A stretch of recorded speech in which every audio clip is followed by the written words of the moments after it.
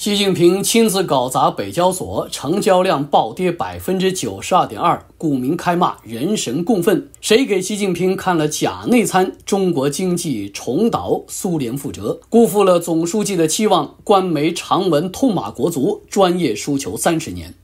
由习近平亲自部署的北交所，近日被中国的股民骂翻了，因为北交所的成交量目前已经从高峰期的三百多亿降到了只有二十多亿。跌幅达到了百分之九十二点二，另外再加上外资撤离，内资也在不断的砸盘，中国的股民是痛骂，人神共愤。这来自《自由时报》的信息表示，中国的国家主席习近平亲自指挥部署的北京证券交易所，简称北交所，惨不忍睹。北交所五十指数单日的成交量从高峰期一路崩跌至九月六号，只剩下了二十三点六亿元人民币，萎缩超过九成，指数几乎腰斩。在流动性枯竭以及经济形势欠佳之下，大股东开始透过巨额交易来转让持股，最高折价三成，引爆了中国股民开骂，直言中国股市面临外资撤离，大股东还贱价砸盘，人神共愤。中国媒体财新网的报道说，二零二四年以来，一共有一百零七家北交所挂牌企业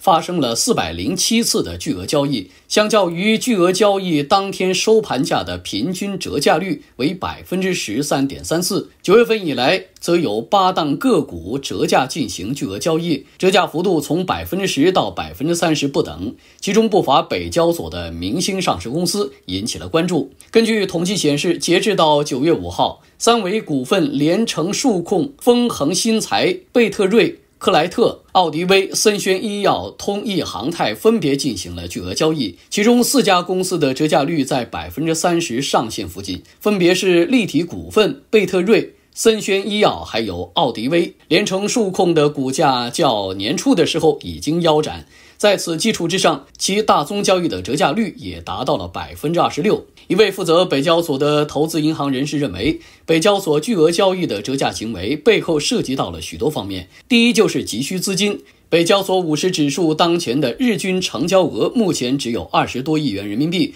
如果有资金需求，大股东会选择便宜卖股。第二就是接手的投资资金，如果谈妥大幅折扣的巨额交易，手中的股票也许能够在二级市场当中来卖出，赚取差价。第三就是原始股东出于避税考虑，折价找人接盘套现资金。在总体经济低迷之下，北交所上市企业运营不佳。就今年半年报观察。北交所上市公司经营持续承压，百分之五十七的公司归属母公司净利为负，获利能力依旧考验市场投资人的耐心。北交所交投情绪更为低迷。九月六号，北证五十指数收盘六百一十九点一七点，与二零二二年六月份的峰值一千一百六十七点一二点相比，跌幅达到了百分之四十六点九，成交量更是从高峰期的三百零三亿元人民币衰至了九月六号。的二十三点六亿元人民币，跌幅达到了百分之九十二点二。对于大股东透过巨额交易折价卖股行为，中国股民非常不满，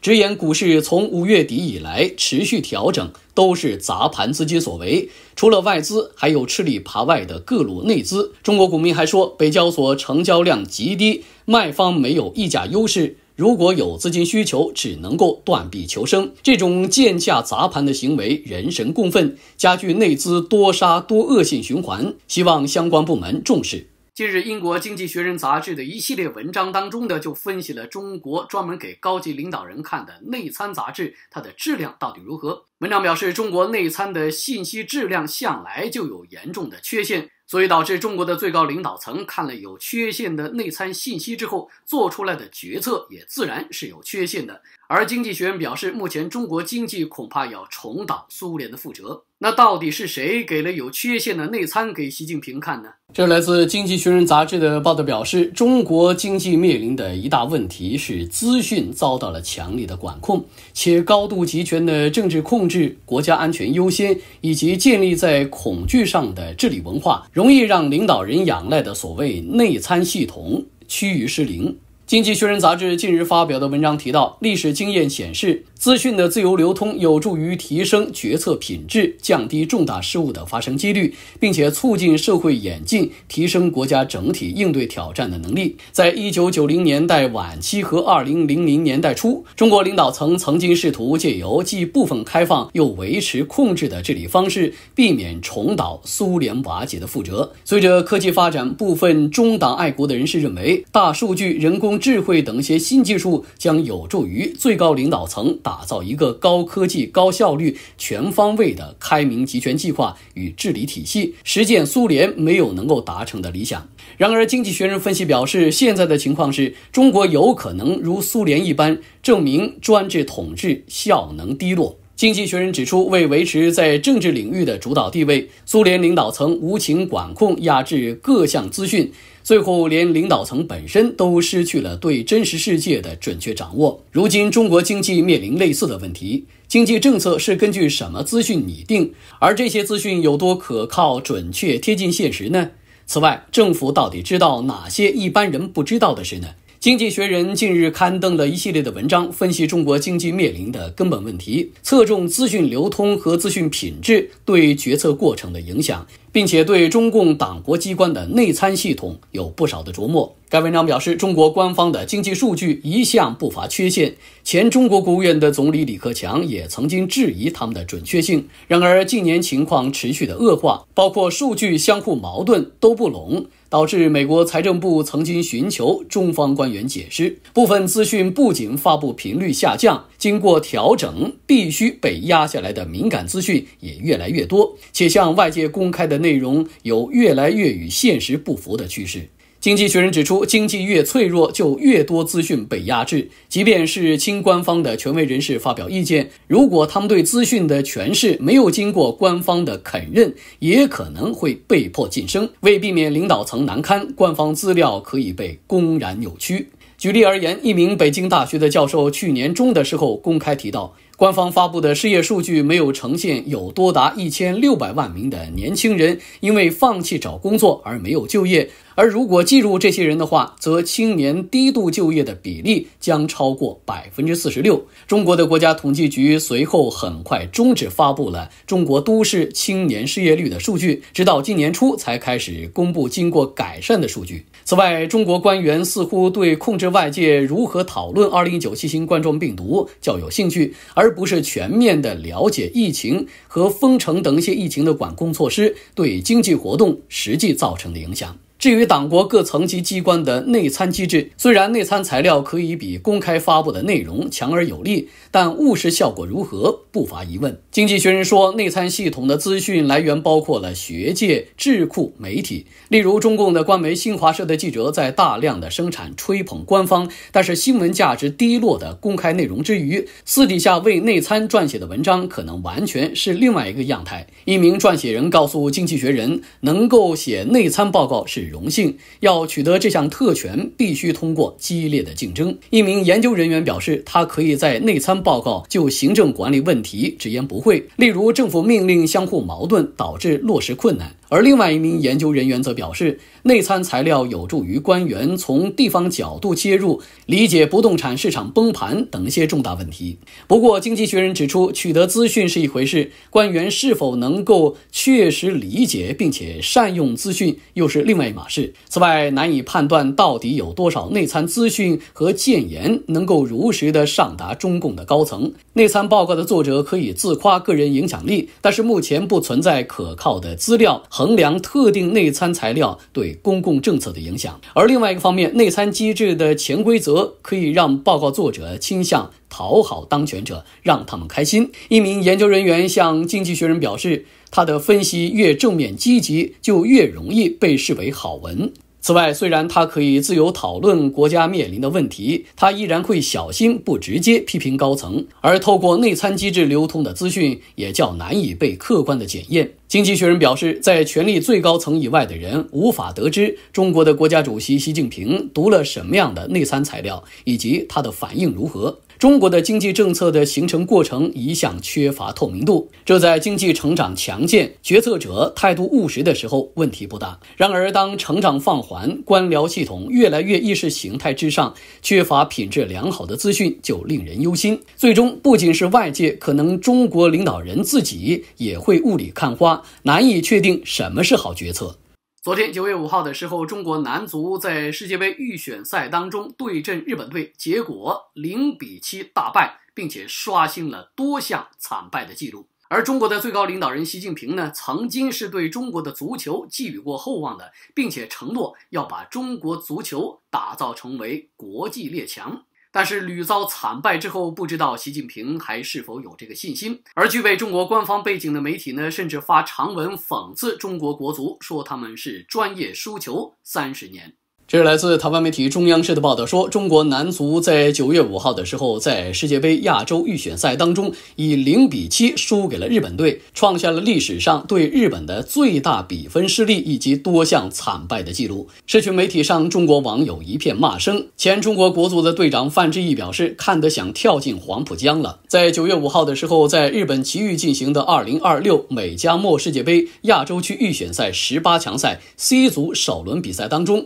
中国男足零比七败给了日本队，也创下了多项惨败的记录。根据中国媒体澎湃新闻的报道说，这是对日本最大的比分失利，世预赛单场丢球最多，世预赛最大比分失利。这也是中国国足队史正赛的最大比分失利。此前最大比分失利是来自2012年与巴西队的友谊赛，当时中国国足零比八不敌巴西。直播看球的前中国国足的队长，人在上海的范志毅感慨表示：“这场比赛对面进球也太容易了，要不是这里离得远，他看得真想跳进黄浦江了。”他还表示，他们可以接受输给日本，但是让对面进的这么容易，真是太差了。另外，中国媒体《新京报》报道表示，中国队的主教练伊万科维奇赛后表示，日本队是世界强队。尽管已经预料到这是一场艰苦的比赛，但是没有想到有这么多的失球。接下来还有九场比赛，会和队员好好总结，加强备赛。他并表示，作为一名教练，这个夜晚对他来说也是最难过的一晚。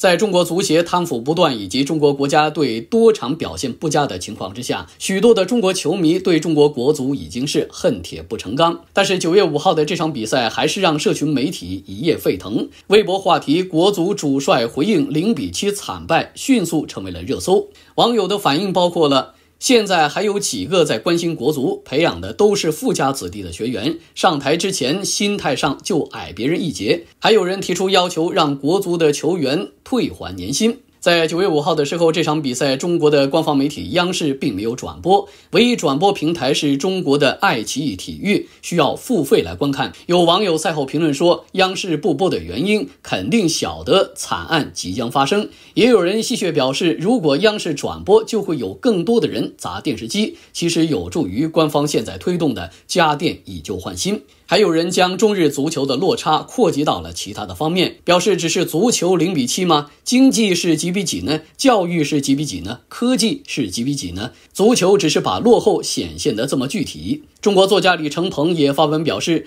中国男足以零比七输给日本，并不令人意外。他表示：“你难道不意识到中国官场清廉与日本的差距吗？你难道看不到中国社保、养老、司法和民生与日本的差距吗？”就连具备中国官方背景的微信公众号“牛弹琴”在九月六号的时候都发出了讽刺长文，称国足专业输球三十年，有其良苦用心。中国足协的官方网站统计，中国男足对阵日本的历史战绩处于绝对的劣势。上一次击败日本是在一九九八年的。黄朝杯四强赛当中，当时中国队以二比零击败了日本。此后至今，中国队已经十四场不胜日本，期间总战绩为十四战八负六平。而中共的官方媒体新华社的英文版的报道则表示，这是一次耻辱性的失败。另外，来自德国之声的报道说，中国的官方媒体对这一次比赛的反应极其的冷淡。官方的体育日报以世界杯预选赛中国不敌日本为题进行了简短的报道，但是对比赛的细节只是一笔带过。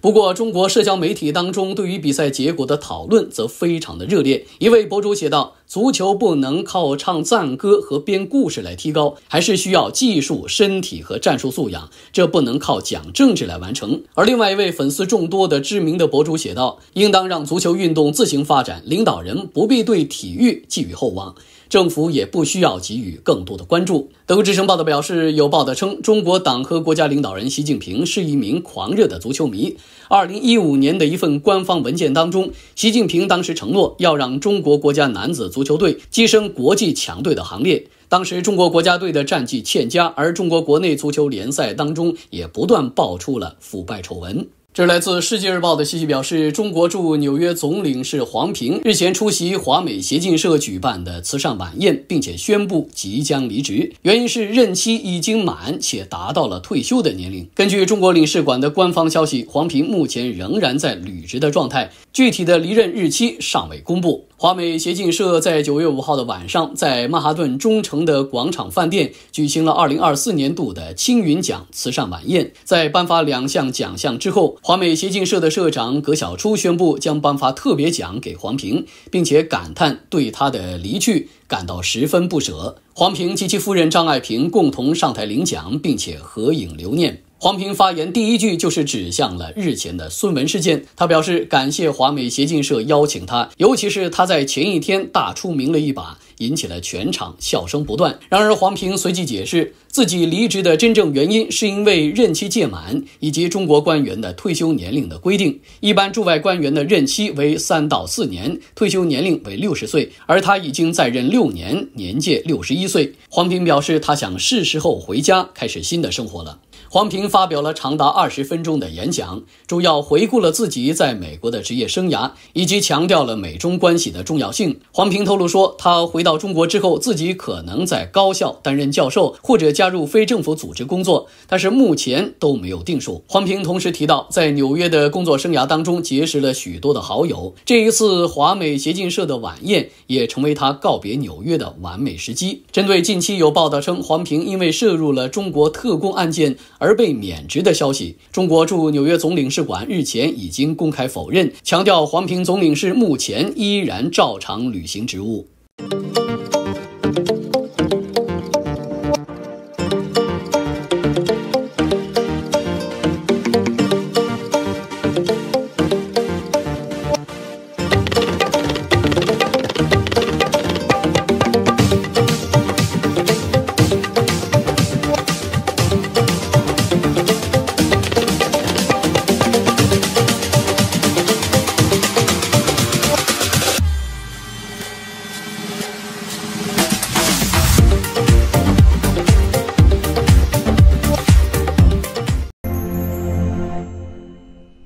习近平送中国人十难，全民集体返贫，百姓可以吃土度日。习近平誓造帝国梦。张幼霞发言有异常，习近平为晚年做打算。今天，台湾媒体上报当中发表了一篇署名为“宋国成”的文章。作者表示，习近平这十年以来，不但没有把他所讲的中国梦送给中国人，反而给中国人民制造了十难，而这十难。困扰着中国人从生到死，可以说是一辈子。而对于习近平来说呢，中国的老百姓可以吃土度日，但是中国官方呢却不能在国际上丢颜面。于是，习近平在各种大会小会当中疯狂的大撒币。所以，作者总结表示，习近平口里面所说的中国梦，实际上是习近平自己的帝国梦。这是来自台湾媒体上报当中发表的一篇署名为“宋国成”的专栏文章。作者表示，邓小平曾经说过，改革开放是让一部分人先富起来。确实，当前中国确实是有极少数的人富起来了，但是绝大多数的人都穷下去了。依据《纽约时报》在九月三号的时候发表了一篇文章，报道说，二零一四年的一份关于中国人民贫富感知的调查报告就显示，当时的中国人认为自己比五年前更加富有的比例是百分之七十七。而在时隔十年之后的今天，这个比例降至了百分之三十九。这意味着中国人民的财富正在急剧的缩水，有百分之六十一的中国人民正在走向贫穷化。习近平引以为傲的政绩脱贫，实际上是返贫之后再入贫。作者表示，当前的中国人民有食难、吃饭难、穿衣难。上学难、就业难、结婚难、生育难、住房难、看病难、养老难、送终难。这十难几乎涵盖了个人一生所有的困难，也就是从摇篮到坟墓，无事不难。二零一四年期间，正是习近平提出中国梦的亢奋年代。我们不知道这场民族大梦的具体图像和梦幻愿景是什么，但是可以确认，这是新时代习近平思想的总纲领。如今，这场梦境的图像已经明朗化，那就是一场由中国梦走向中国穷的历史大变局。中国的经济到底有多糟糕呢？八个字：深不见底，药石罔效。但即使中国人民苦哈哈，中共还是在天女散花。作者总结了中国社会当中现在十大症疾，第一就是极端的贫富差距。根据中国政府自身的统计，中国有近十亿人平均的月收入在人民币两千块钱以下，占总人口近七成。在此同时，中国的百分之一的人口占据了百分之九十的社会财富，而百分之九十九的穷人只占到了百分之十的社会财富，这就是贫富的极端差距。除了三农问题之外，中国大陆还存在三差问题，也就是贫富、城乡、东西三大差距。中国的贫富差距被形容为天地之差。贫富之分可谓是天差地别。根据世界银行统计，中国目前约有两亿人生活在贫困当中，最富裕、最穷家庭的金融资产比例相差达到了三百五十九倍。第二就是社会火山的出现。依据《华尔街日报》的报道说，一份由哈佛大学社会学家马丁·怀特和斯坦福大学大资料中国的联合创始人施考特·罗泽尔以及北京大学中国国情研究中心合作进行的一份调查研究，名为《社会火山》。调查显示，过去中国人民对于贫穷的原因，从过去认为是自己能力不足或者是努力不够，到现在归咎于不平等的机会与不平等的经济制度。作者表示，他把这种社会火山称之为内爆型的社会怨恨。一方面表现为对习近平体制的不满，一方面表现为个人生存状态的绝望。第三就是社会性自杀。日前，一位中金集团的女性职员因为房地产崩跌无力支付房贷而跳楼轻生。最近，一名来自宁夏的年轻女子沉尸在西安出租公寓，这就是一种社会性自杀的例子。这名女子数次公务员考试都是笔试第一名，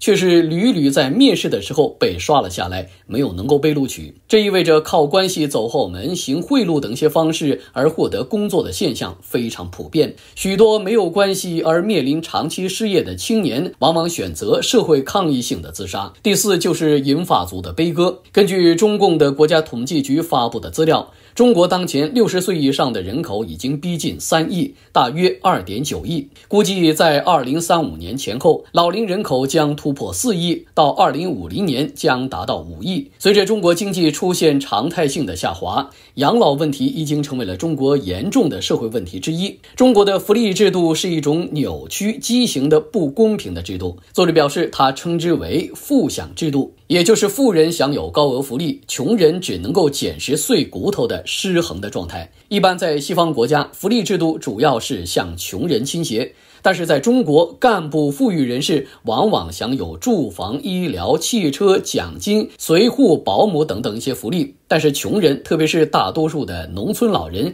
只能够在财政剩余之下捡取剩下的碎骨头，许多老人晚景凄凉，乏人照顾。第五就是餐饮收尸人的出现。根据北京统计局的数据显示，在二零二四年的上半年，北京市每年营收在一千万元人民币以上的餐饮业的利润总额为一点八亿元人民币，比二零二三年的同期大减了百分之八十八点八，利润率降至了百分之零点三七，连一成都不到。这意味着餐饮业面临着利润微薄的局面。截至二零二三年的十二月二十一号，中国餐饮企业吊销牌照的数量超过了一百二十六点五万家，是二零二二年的两倍多，创下了二零二零年以来餐饮吊销量的最高纪录。二零二四年上半年，餐饮相关的企业总计注销吊销数量达到了一百零五点六万间。二零二四年的第一季度，已经有近六十四万间的餐饮店倒闭，较去年同期的十四万间，增加了百分之二百三十二。许多新开的店家撑不到一两个月就倒闭，还有一位客户是新店开张三天之后就结束营业。在一片萧条之下，中国出现了一种餐饮收尸人的特殊行业，也就是专门收集倒闭的餐饮业剩下的厨具、餐具等等，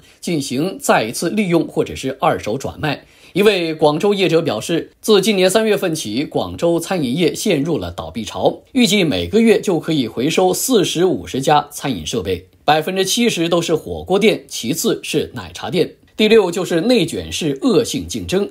由于产能过剩、内需不足、库存积压等等一些因素，中国多数的企业出现了低价竞争、狂打价格战的现象，称之为内卷式恶性竞争。以钢铁产业为例。二零二四年七月份的统计，中国全国的重点钢铁企业的利润年减百分之八十八，月减百分之九十，几乎是无利可图。仅仅百分之一的企业尚有微利可图的空间。其次是太阳能产业，从上游至下游的硅料、硅片、电池片以及组件等四大产品的价格，分别较二零二四年初下跌了百分之四十、百分之四十八、百分之三十六、百分之十五，创下了历史新低。有些企业甚至跌破了成本线，陷入血本无归的亏损的状态。第七就是龙头企业摇摇欲坠。中国汽车龙头企业之一的恒大新能源汽车，二零二四年上半年亏损两百零二点五七亿元人民币，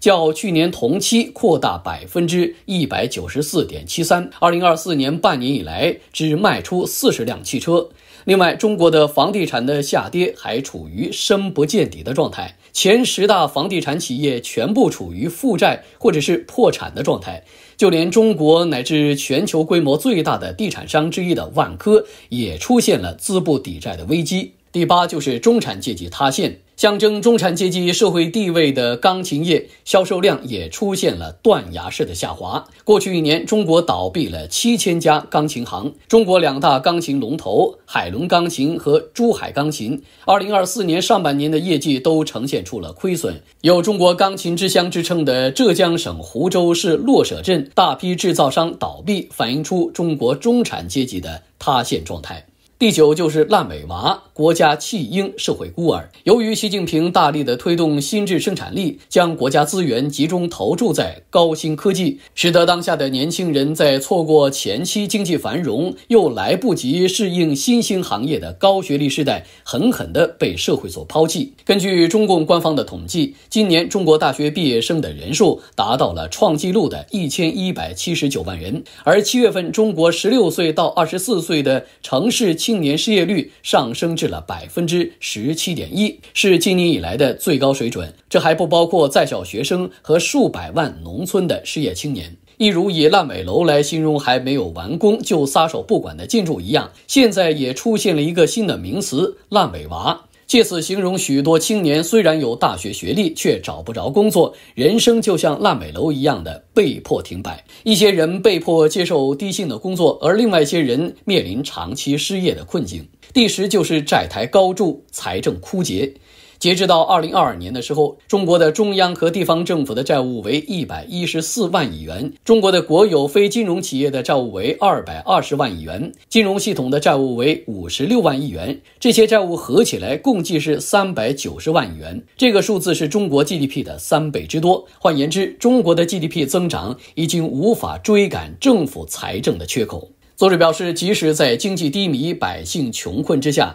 中共依然砸重金推动各项弘扬国威的计划。中国人民可以吃土度日，中国的国际地位丝毫不能减损。换言之，习近平的中国梦不是中国人民翻转人生的美梦，而是他的帝国梦。另外，作者表示，按照中共的既定思维，问题只要不讨论就不存在问题，即使有所讨论，也必须是报喜不报忧。最近，中国高层数度下令，不仅必须要搁置问题、淡化问题，而且还要畅想中国经济的光明面，说好中国故事等等。中共高层甚至警告，不得将中国的经济问题与1980年代日本经济泡沫相提并论。更不能够对中国的发展保持悲观的预期，甚至连一般的经济学的专有名词，例如通货紧缩、中等收入陷阱、凯因斯陷阱、明斯基时刻，还有刘易斯拐点等等。都不准使用。然而，不讨论问题，并不表示问题不存在；畅想光明，并不能够去除黑暗。这种鸵鸟治国的心态，只会使得存在的问题更加的恶化。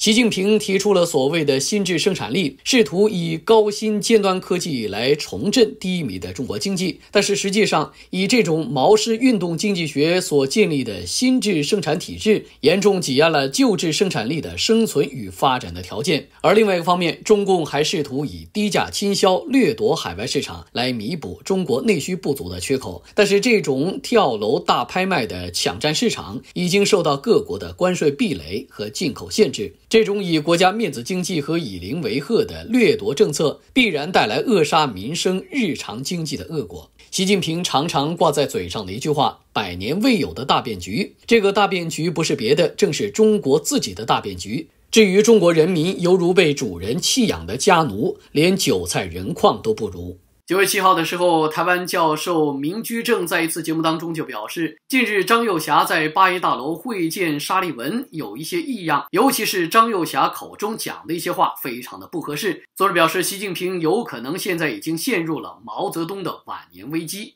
这来自综合媒体的报道表示，中共的军委副主席张幼霞与美国总统国安事务助理沙利文会面一事继续引起了讨论。虽然从张幼霞的话中可见，会面是由沙利文提出来的，但是早就定于一尊的习近平能够同意这场会面，也太罕见和奇怪。此外，习近平近来还自曝软肋。台湾大学政治系的名誉教授明居正在九月七号的时候，在一次节目连线当中就提出，从中共国防部发出的新闻稿来看，张幼霞说的一些话。不太正常。例如，他告诉沙利文，去年十一月份，习近平、拜登在旧金山的会晤；今年四月份，两个人再一次通话，为中美关系指明了方向。双方要落实好元首共识，推动旧金山愿景转为实景。民居正表示，这些话应该由习近平来说。今年四月份，习近平见布林肯时说的话，就是按照这套模式：先回顾习近平本人与拜登之前的通话，再提出习近平对中美关系的预期等等。但是现在在会见沙利文的时候，